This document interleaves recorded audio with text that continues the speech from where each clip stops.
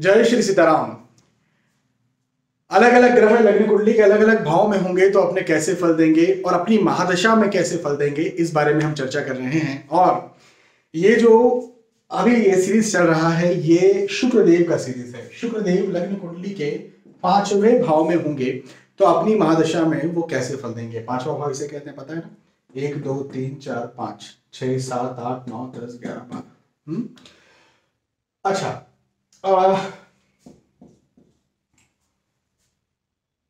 शुक्रदेव की सातवीं दृष्टि भी होती है। इसका क्या मतलब है? इसका मतलब ये है कि शुक्रदेव जहाँ बैठते हैं, वहाँ के तो अपने फल देते हैं, ये बात तो पक्की है, लेकिन वो जहाँ बैठते हैं, वहाँ से अपने सातवें भाव के फल भी देते हैं। तो सातवीं दृष्टि कैसी होगी? एक, दो, तीन, चार, पाँच, छह, सात। यहीं से गिनेंगे सातवीं तो यहाँ पर आएगी। अब ये समझिए कि पांचवा भाव क्या होता है सातवीं दृष्टि इलेवंथ हाउस पे पढ़ रहे इसको इलेवंथ हाउस कहते हैं। तो इलेवंथ हाउस क्या होता है? लग्न कुंडली का पांचवा भाव या पंचम स्थान जो है, वो संतान का स्थान है, संतान। हम्म? इसी के साथ साथ ये बुद्धि का स्थान भी है। इसी के साथ साथ ये अनसर्टेन गेन मतलब जो अचानक से लाभ होते हैं ना, अचानक होने वाले लाभ। अचानक लाभ कैसे होते हैं? अचानक लाभ शेयर मार्केट में कहीं पैसा लगाया था और अचानक पता चला कि आपने लगा करके रखा था एक लाख और अचानक से डेढ़ लाख हो गया या अचानक से दो लाख हो गया, अचानक से डबल हो गया, है ना? कई लोग लॉटरी में जीतते हैं लॉटरी अचानक से निकलती है ना तो लॉटरी में निकले। कई बार अचानक से ऐसा लगता है कि पहले तो भूमि एक कोई कोई ज़मीन है, आपकी पैतृक संपत्ति कुछ है तो वहाँ पर उसका कोई खास दाम नहीं था या खेती है, उसका कोई खास दाम नहीं था। वहाँ से कोई नेशनल हाईवे निकल रहा है, वो नेशनल हाईवे पारित हुआ है अभी तो केवल पारित हुआ है। उसको साइन की है केवल मिनिस्टर ने, और वो उस जगह कीमत अचानक बढ़ गई, रातों रात बढ़ गई। तो इस प्रकार अचानक के जो लाभ होते हैं ना, उनको भी पंचम स्थान से देखा जाता है। ठीक है? अच्छा पहली संतान संतान का मतलब सारी संतानें नहीं, पहली संतान पंचम स्थान से मुख्यतः देखी जाती है। अच्छा इलेवंथ हाउस क्या होता है? इलेवंथ हाउस का मतलब होता है आपके, आपका लाभ, प्रतिष्ठा का लाभ, आय का लाभ इनकम का लाभ, पहली बात। दूसरी बात दूसरी बात इलेवंथ हाउस का मतलब होता है जो आपके आसपास के लोग हैं मतलब आपका परिवार में, लेकिन आपके दोस्त हो सकते हैं, दूर के रिश्तेदार हो सकते हैं, आपका एक एक सर्कल हो सकता है, एक समाज हो सकता है है ना? कोई आपका एक क्लब होगा है ना? किसी क्लब में आप जाते होंगे, आप जिम के कोई फ्रेंड्स होंगे आपके मतलब जो आसपास के लोग हैं, है ना? उनको बोलते हैं इलेवंथ उनको इलेवंथ हाउस से यहाँ पर देखा जाता है। छोटी मोटी बीमारियों का भाव भी इलेवंथ हाउस को हम कहते हैं। अब देखिए, मैं हमेशा ये बात समझाते रहता हूँ कि कोई भी ग्रह किसी भी भाव में अकेला नहीं होता है। वो किसी न किसी नंबर के साथ होता है। वो नंबर राशियाँ होती हैं और उस राशि का भी बहुत बड़ा प्रभाव पड़ता है।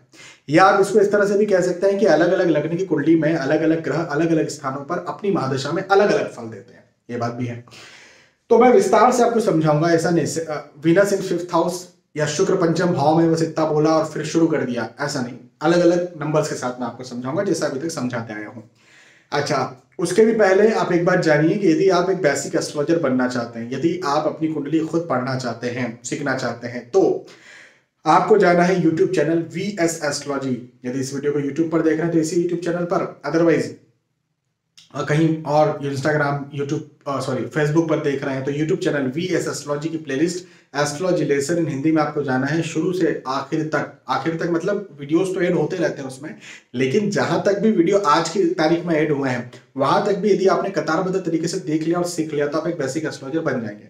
बाकी फिर वीडियो तो ऐड होते ही रहते हैं वहाँ पर तो फिर सीखते ही रहिए है ना? सीखने सीखने का कोई आ, कोई टाइम लिमिट तो है नहीं। मैं ज़िंदगी भर ज्योतिष सिखा सकता हूँ क्योंकि मैं ज़िंदगी भर ज्योतिष नई नई नया नया सीखता रहूँगा। तो जो नया सीखूँगा वो आपको सिखा दूँगा है ना? चलिए। तो आते हैं हम आ, मुख्य इस बात पर कि शुक्र महाराज लग्न कुंडली के पंचम स्थान में एक नंबर के साथ होंगे तो कैसे फल देंगे? यहाँ एक नंबर होगा तो यहाँ क्या होगा?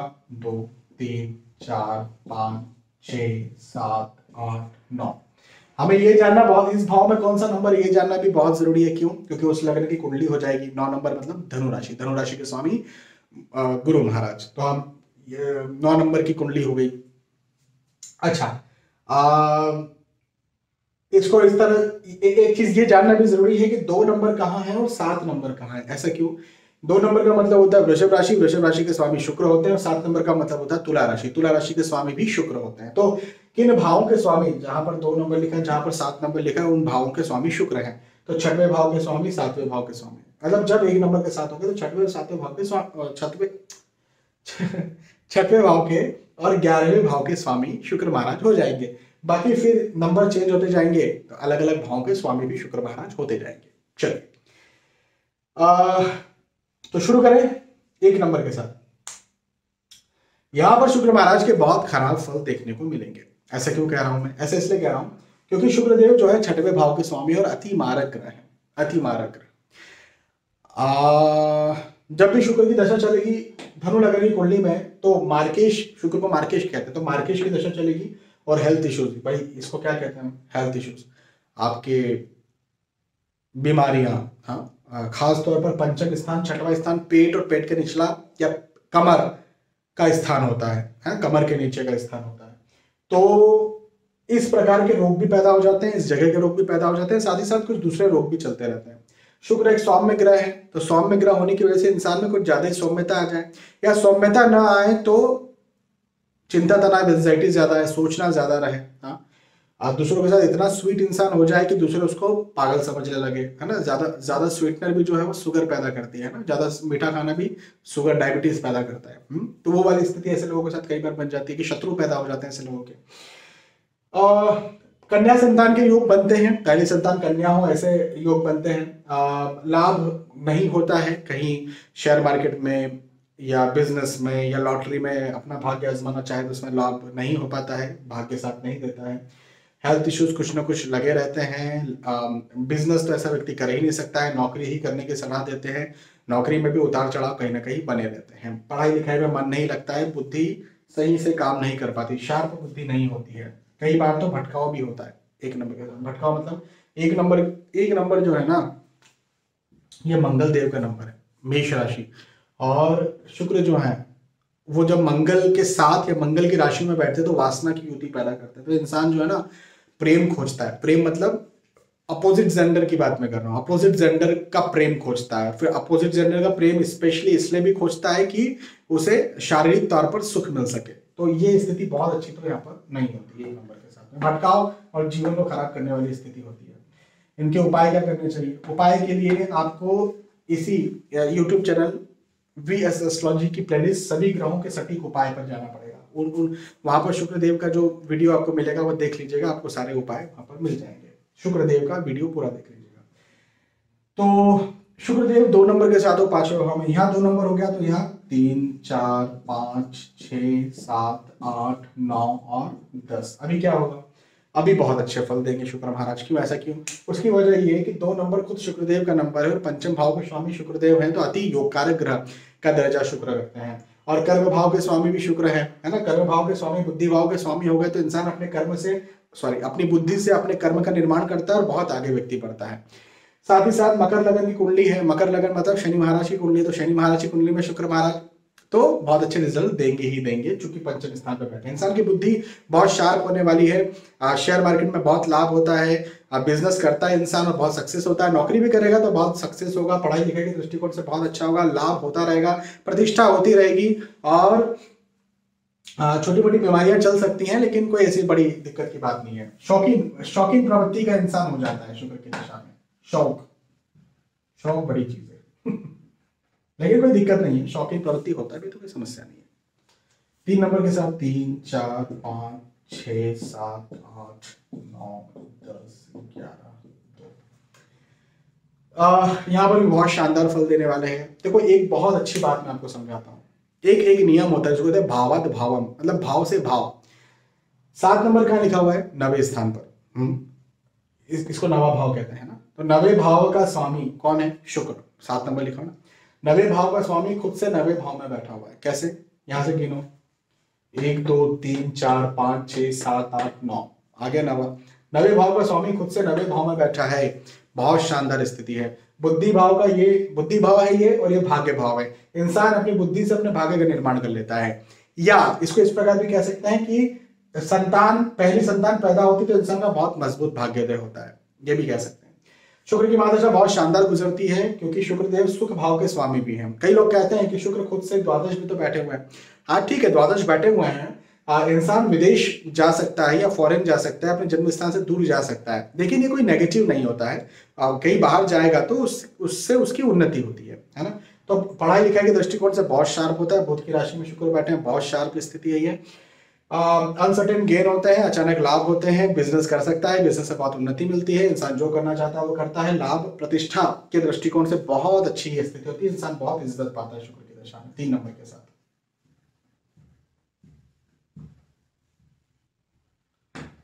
तीन के बाद में चार नंबर। चार, पाँच चार ये हो गया। तीन, दो, एक, बारह, ग्यारह, दस, नौ, आठ, सात। ठीक है। हमें मुख्यतः मुख्यतः क्या देखना चाहिए? मुख्यतः हमें सात नंबर का है, वो देखना ज़रूरी है। दो नंबर का है, वो देखना ज़रूरी है, क्योंकि शुक्र महाराज के नंबर है। कौन से नंबर के साथ शुक्र बैठे हैं तो ऑब्वियसली देखना ज़रूरी है, कौन सी लगन की कुंडली के देखना भी ज़रूरी है। तो सारे नंबर लिख कोई बात नहीं। तो अब यहाँ पर क्या होगा? देखो खराब फल मिलेंगे, बहुत खराब फल मिलेंगे। क्यों खराब फल मिलेंगे? अष्टम भाव के स्वामी शुक्र हो गए। अष्टम भाव के स्वामी शुक्र हो गए और वो बुद्धि भाव पर बैठे। अष्टम भाव को हम क्या कहते हैं? चिंता, तनाव एंजाइटी डिप्रेशन का भाव होता है और उसके उसके मालिक की महादशा चल रही है। और वो भी बुद्धि भाव में बैठ गए। चिंता, तनाव डिप्रेशन का मालिक बुद्धि पे बैठ गया। वर्स्ट कंडीशन हो गई और फिर उनकी महादशा चल पड़ी। तो चिंता, तनाव एंजाइटी डिप्रेशन ऐसे व्यक्ति को बना रहेगा। तृतीय भाव मतलब भाग दौड़ के मालिक बुद्धि भाव में बैठे हैं। बुद्धि भाग दौड़ करती रहेगी मतलब जिसको बोलते हैं ना ओसीडी या बार बार विचार ये एक प्रकार की समस्या होती है, इसमें बार बार विचार आते हैं। तो उस प्रकार की समस्या से इंसान को पैदा हो जाती है। पढ़ाई लिखाई में मन नहीं लगता है। या या पढ़ाई लिखाई करना भी चाहता है तो उसमें अच्छे से सक्सेस नहीं हो पाता है। बिज़नेस करना बिल्कुल भी उचित नहीं है, गलत है है ना? एडिक्शन हो सकता है किसी प्रकार का कोई शराब या ड्रग या कुछ पान मसाला टॉबेको सिगरेट इस प्रकार का एडिक्शन में इंसान बहुत जल्दी आ सकता है। या अपोजिट जेंडर में भी इंसान बहुत जल्दी जा सकता है। अच्छा छोटी मोटी बीमारियाँ कुछ ना कुछ चलती ही रहेंगी और लाभ उतनी जल्दी से अर्जित नहीं होगा। तो अच्छी बात नहीं है, चार नंबर। चार के बाद में पाँच नंबर।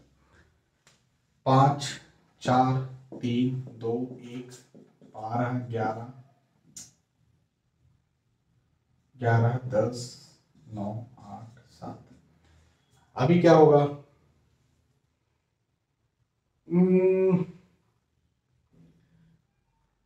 यहाँ पर भी आ, मतलब कुछ मिली जुली स्थिति निकल करके आएगी। मैं समझाता हूँ कैसे मिली जुली कैसे।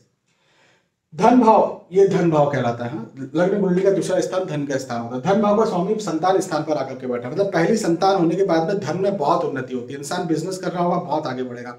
नौकरी कर रहा होगा बहुत आगे बढ़ेगा। प्रोफेशनल होगा बहुत आगे बढ़ेगा। पहले वो ऐसा बोलेगा मेरी पहली संतान हुई और मेरी बहुत उन्नति हुई है ना? हाँ कुंडली मिलान करके शादी होना चाहिए एक शर्त है हाँ। लेकिन हंड्रेड परसेंट उन्नति होती है पहले संतान के बाद में। आ, तो ये धन के दृष्टिकोण से तो बहुत अच्छी बात हो जाती है लेकिन आ, यदि हम संतान की बात नहीं करते कोई पढ़ाई लिखाई कर रहा है तो अब तो फिर ना मन जो है ना अपोजिट जेंडर में ज़्यादा लगेगा आ, या प्रेम प्रेम अफेयर इस चीज़ में मन ज़्यादा लगेगा। क्योंकि शुक्र जो है ना पति या पत्नी भाव के स्वामी है और बुद्धि भाव पर बैठे हैं तो पति पत्नी में बुद्धि लगेगी। अब जो स्कूल में है कॉलेज में है वो पति पत्नी की बुद्धि देखेगा लड़का है तो लड़की को देख रहा है कि ये पत्नी पत्नी के दृष्टिकोण से देख रहा है। या लड़की है तो लड़के को पति के दृष्टिकोण से देख रही है। तो इसको हम अफेयर कहते हैं। अब ये छोटे बच्चों का अफेयर क्या मतलब पति, पत्नी के दृष्टिकोण से क्या देखेंगे ये लोग? ये लोग वही फिर धीरे धीरे वासना में फंसेंगे। तो वो वाली स्थिति जो है, कई बार ऐसी पैदा हो जाती है। अच्छा यदि कुंडली मिलान करके शादी हुई है और फिर संतान, प्रथम संतान हुई तो उसके बाद बिज़नेस किया जा सकता है। लेकिन उसके अलावा बिज़नेस की सलाह मैं शादी के पहले बिज़नेस की सलाह नहीं करता हूँ। हाँ शादी के बाद में आप बिज़नेस किया जा सकता है। आ, उसके पहले मैं नौकरी करने की सलाह करता हूँ और नौकरी में उन्नति मिलती है व्यक्ति को अच्छी उन्नति मिलती है धनभाव के स्वामी ना तो नौकरी में उन्नति ज़रूर मिलती है। कई बार अफेयर या लव मैरिज के योग भी शुक्र महाराज बनाते हैं शुक्र की दशा में। छोटी मोटी बीमारियाँ लगी रहती हैं, लेकिन लाभ भी, आय भी होती रहती है प्रतिष्ठा भी ऐसे व्यक्ति को मिलती है। तो इस पढ़ाई लिखाई के दृष्टिकोण से बहुत अच्छी चीज़ ये नहीं है। लव अफेयर दूसरे उसमें फंसने के दृष्टिकोण से अपोजिट जेंडर में वासना में ज़्यादा फंसने के दृष्टिकोण से बहुत अच्छी स्थिति नहीं है। अदरवाइज़ ठीक है, सामान्य। पाँच नंबर। पाँच के बाद में छ नंबर। छ पाँच, चार, तीन, दो, एक, बारह, ग्यारह, दस, नौ, आठ, सात। अभी क्या होगा? अभी यहाँ पर देखिए, छह नंबर का मतलब होता है कन्या राशि। कन्या राशि में शुक्र महाराज नीच राशि स्थित हो जाते हैं। और हालाँकि यहाँ पर लग्नेश लग्न भाव के स्वामी हैं तो लग्नेश की दशा पंचम स्थान पर लग्नेश बैठे हुए तो बहुत अच्छी जानी चाहिए। और कई लोग तो ये बोलते हैं कि लग्नेश हमेशा शुभ होता है, लेकिन ऐसी कोई बात नहीं है, लग्नेश हमेशा शुभ नहीं होता है। जैसे एक पिता होता है ना तो मैं आँख बंद करके बोलूँ कि पिता तो हमेशा ही अच्छा होता है। ऐसा नहीं, कई सारे मैंने शराबी पिता भी देखे हैं, कई सारे मैंने जुआरी, नशेड़ी पिता भी देखे हैं, कई सारे ऐसे पिता देखे हैं, जो बच्चा पैदा किया और उसको जो है कहीं और छोड़ करके आ गए, लड़की हुई तो उसको कहीं फेंक करके आ गए। कई सारे मैंने ऐसे भी पिता देखे हैं। जो शादी हुई, बच्चा बच्चा हुआ, कहीं और किसी महिला के चक्कर में आ गए, इनको छोड़ दिया, कहीं और चले गए। तो ज़रूरी नहीं कि पिता हमेशा अच्छा ही होता है। हाँ अधिकतर अच्छे होते हैं। सभ्य समाज में पिता अच्छे होते हैं, लेकिन बहुत सारी जगहों पर पिता भी खराब हो जाते हैं। तो उसी प्रकार से कोई कहता है ना कि लग्नेश हमेशा ही अच्छा होता है। उनको बोलना, जिस प्रकार से पिता कभी कभी खराब हो जाते हैं, ऐसे लग्नेश भी कभी कभी खराब फल दे देते हैं अपने। यहाँ पर लग्नेश खराब फल देने वाले क्या खराब फल देने वाले हैं? मन ना लगना, पढ़ाई लिखाई में मन ना लगना, मन गलत दिशाओं में लगना, भटकना नीच प्रवृत्ति होना क्योंकि नीच राशि लग्नेश है ना तो नीच प्रवृत्ति होना, और बिज़नेस नहीं कर सकता ऐसा व्यक्ति, नौकरी ही करेगा, नौकरी करेगा तो उसमें भी कहीं ना कहीं कुछ ना कुछ प्रॉब्लम हो हेल्थ इश्यूज़ हो इम्यून सिस्टम कमज़ोर हो, लाभ या प्रतिष्ठा उतनी ना मिले और चिंता, तनाव एंजाइटी की स्थिति लगी रहे। ये स्थिति यहाँ पर छह नंबर के साथ होती है। हेल्थ इश्यूज़ कहीं ना कहीं लगे रहते हैं यहाँ पर, क्योंकि नीच राशि के हो गए ना। छह नंबर। अच्छा सात नंबर, सात, आठ, नौ, दस, ग्यारह, बारह, एक, दो, तीन। अभी क्या होगा? बहुत शानदार फल देंगे। देखिए सात नंबर मतलब पंचम भाव के स्वामी शुक्र है तो पंचमेश शुक्र हो जाते हैं। और बुद्ध महाराज की कुंडली है, मिथुन लगन की कुंडली है। हालाँकि कई लोग कहेंगे कि द्वादशेश भी शुक्र है, लेकिन मैंने यह हमेशा सिखाया और समझाया है कि जो त्रिकोण भाव के स्वामी होते हैं, उन्हें द्वादशेश अष्टमेश षष्ठेश होने का दोष नहीं लगता है। तो द्वादशेश को हम नेगेटिव वे में नहीं लेंगे पॉजिटिव वे में लेंगे। कैसे? ऐसे कि बुद्धि भाव का स्वामी शुक्र है, जो द्वादश विदेश भाव का स्वामी, द्वादश भाव को क्या कहते हैं? विदेश का भाव कहते हैं ना? तो बुद्धि भाव का स्वामी शुक्र है, जो कि द्वादश भाव आके भी स्वामी है। तो इंसान अपनी बुद्धि विदेश में और ज़्यादा विकसित कर सकता है। इसको कैसे समझेंगे आप? पढ़ाई लिखाई करने के लिए कहीं बाहर चले जाना। अच्छा बाहर का मतलब हो सकता है कि देश से बाहर चले जाए, लेकिन देश से बाहर नहीं भी जाता है तो भी ये हो सकता है कि आपका जन्म जहाँ हुआ, वहाँ से कहीं दूसरी जगह पर आप जाए और वहाँ जाकर के विद्यार्जन करें, है ना? तो दूर जाकर के विद्यार्जन करने का योग होता है और अच्छी तरह से विद्यार्जन कर लेता है। कई बार होता है ना कि आप, आपको आईआईटी करना है। आप ज़रूरी थोड़ी कि आपके शहर में आईआईटी है और आपका आईआईटी में सिलेक्शन हो गया तो फिर आपको दूर तो जाना पड़ेगा ना कहीं पढ़ने के लिए। तो बस उस प्रकार की स्थिति कहीं हो जाती है। तो ये पॉजिटिव है, कोई नेगेटिव नहीं है। अच्छा बुद्धि बहुत शार्प काम करती है। भौतिक दृष्टिकोण से इंसान बहुत अच्छा होता है। संतान प्राप्ति के योग में कन्या संतान के योग बनाते हैं, कन्या संतान बहुत अच्छी रहती है। अचानक से लाभ हो सकता है ऐसी स्थिति में शेयर मार्केट में या लॉटरी में बहुत अच्छी इंसान को उन्नति मिलती है। और बिज़नेस में भी उन्नति मिलती है, लाभ भी होता है, नौकरी में भी उन्नति मिलती है और साथ ही साथ प्रतिष्ठा भी व्यक्ति को मिलती है। बहुत अच्छी स्थिति है। पढ़ाई लिखाई के सारे दृष्टिकोण से बहुत अच्छी स्थिति जो भी आप कह रहे हैं सब अच्छा है। स्वास्थ्य भी अच्छा है। सात सात के बाद में आठ नंबर। आठ नौ दस ग्यारह बारह एक दो तीन चार सात। अभी क्या होगा? अभी आ, कुछ मिला जुला फल मिलेगा। देखो कर्क लग्न की कुंडली है। चंद्र महाराज लगन पर मतलब लगन भाव के स्वामी है। अब इस कुंडली में कई लोग शुक्र को मारक ग्रह कहते हैं। मैं मारक ग्रह नहीं कहता हूँ, मैं समग्रह कहता हूँ। अब यहाँ पर ना मिले जुले रिज़ल्ट शुक्र महाराज देंगे। कैसे रिज़ल्ट देंगे? पहले ये समझिए कि किन भाव के स्वामी है। तो शुक्र महाराज जो है, सुख भाव के स्वामी है।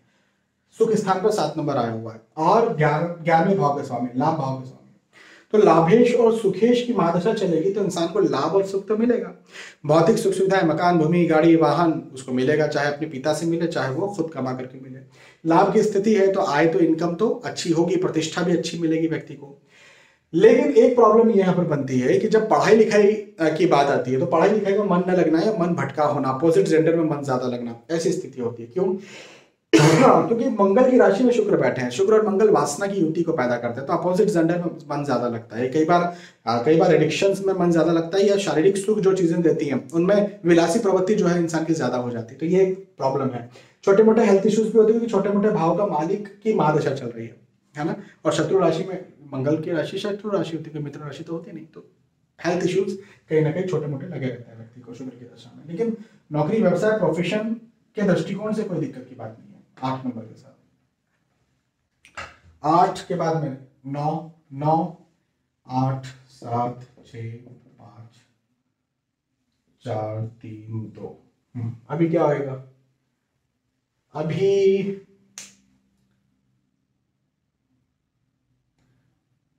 यहाँ पर बहुत अच्छी स्थिति तो नहीं है। देखिए सिंह लगन की कुंडली है और नौ नंबर धनु राशि मतलब धनु राशि गुरुदेव की राशि होती है। तो गुरु शुक्र के शत्रु हैं। तो शत्रु की राशि में शुक्र महाराज बैठे पहली बात, दूसरी बात, तृतीय भाव के स्वामी की दशा चल रही सात नंबर तृतीय भाव में। तृतीय भाव के स्वामी की दशा चल रही है। हालाँकि दशम भाव भी है, लेकिन दशम भाव को भी बहुत अच्छा योग कारक भाव तो नहीं माना जाता है। तो व्यक्ति बिज़नेस लॉस जाता है, अचानक से लॉस हो सकता है। शेयर मार्केट के लिए मैं बिल्कुल भी सलाह नहीं करता हूँ लॉटरी के लिए सलाह नहीं करता हूँ। जुए वगैरह में इंसान फंस सकता है, बिल्कुल बच करके रहना है। अच्छा और बिज़नेस तो करना ही नहीं, नौकरी करते हैं, नौकरी में भाग दौड़ बहुत ज़्यादा लगती है। ऐसा व्यक्ति ना बहुत शिकायत ये करता है कि मुझे बहुत भाग दौड़ना पड़ता है, मुझे बहुत परेशान होना पड़ता है। मेरा जो कलीग है, वह आठ घंटे में जितना प्रतिष्ठा ले लेता है, जितना अप्रेजल ले लेता है, जितना सैलरी लेता है, मुझे वही बारह घंटे काम करना पड़ रहा है। तो ऐसी स्थितियाँ कई बार पैदा हो जाती है। अच्छा पढ़ाई लिखाई में मन नहीं लगता, या पढ़ाई लिखाई करना चाहता भी ऐसा इंसान तो वही बोलता है कि मुझे जल्दी याद नहीं होता। जो दूसरे लोग जो है, वो एक घंटे में याद कर लेते हैं, मुझे एक दिन पूरा लग जाता है। तो इस प्रकार की स्थिति पैदा होती है। छोटे मोटे हेल्थ इश्यूज़ भी लगे रहते हैं, कई बार पेट खराब होता है। पेट पेट का निचला हिस्सा कमर संबंधी समस्याएँ बनी रहती है, नौ नंबर के साथ में। अच्छी बात नहीं है। नौ के बाद में दस।